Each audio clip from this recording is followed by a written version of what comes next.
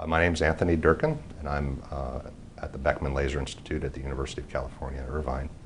Been there since uh, January of 2001. Prior, prior to that, I had spent uh, three years at Candela Laser Company in, uh, in Boston as a uh, manager of a, a research division. And then prior to that, I spent three years at the Food and Drug Administration doing a postdoc. But my training is really in biomedical engineering with an emphasis on optical spectroscopy and quantitative methods in fluorescence and near-infrared um, imaging. So the things that I'm working on primarily now are related to looking at skin, skin cancer, uh, melanoma in particular, and trying to determine if we have uh, you know, a reasonable approach to helping the process of melanoma screening.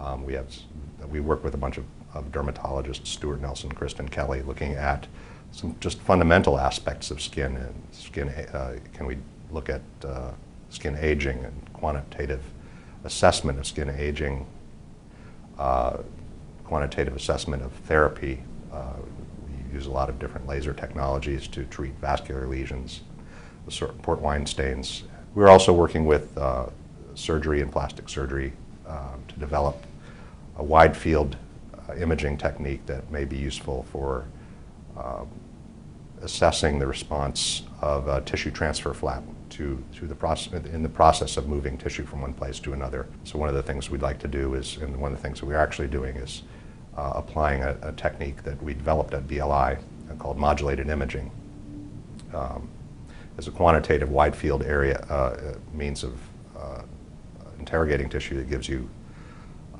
quantitative wide field maps of oxy, deoxyhemoglobin, water, lipid, and it, it, looks like it's very promising in terms of being able to tell very, very early if a tissue flap is compromised. Um, we're also developing a project to look at burn triage and uh, helping to uh, the surgeon to better estimate how much eschar, the, the sort of damaged tissue, to remove um, prior to graft, and that's a very important uh, assessment to make.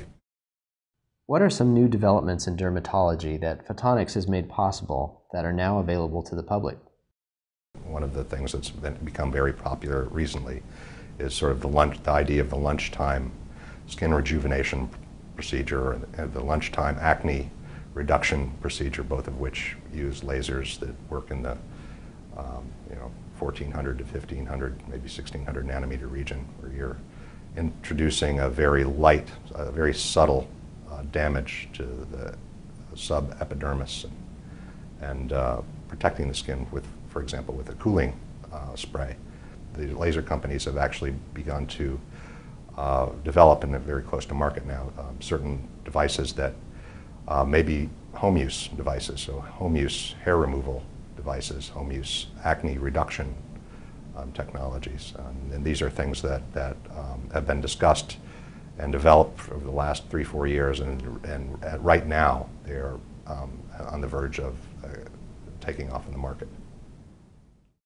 What are the pros and cons of some of those home use therapies? I'm sure that there's going to be a, heated debate in, that domain. Certainly, there are going to be safety issues um, that have to be mitigated, and, and I'm sure the, the, device manufacturers are thinking about this. It, it's not an inconsequential amount of light that is needed to remediate, do a, perform a hair removal or, or an ac acne reduction. And so they're, they're going to have to be certain interlocks and safeguards um, from the consumer end. Would you talk about how you interact with students in your lab and what areas of research they're interested in?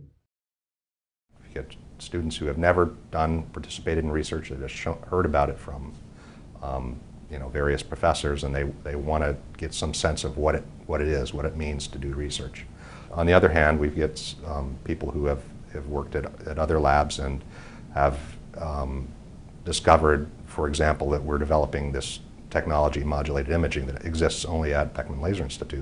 And they want to get in. They, you know, we, we have a dialogue with them and we explain um, you know, where the potential applications are. And typically, that really excites people really want to get involved with things that might make a, a real impact in the real world and, and that's a really a very strong uh, driving aspect and we also get people who are very sophisticated in terms of engineering and they know exactly what they want to do and where their strengths are Um, a lot of interest lately in computational aspects related to um, the problem set that, we're, that accompanies modulated imaging. Uh, there's a, a, great deal of parallelism in the um, attempt to drag information out of the modulated imaging images, and, and so there's a great wealth of, of um, research opportunity there, and, and working with you know, myself and Bruce Tromberg and David Cuccia. We share students, we rotate them through, um, we mentor them as they, they need. It's really a sort of a, an attempt to find out where the strengths and weaknesses are and, and cultivate the, um,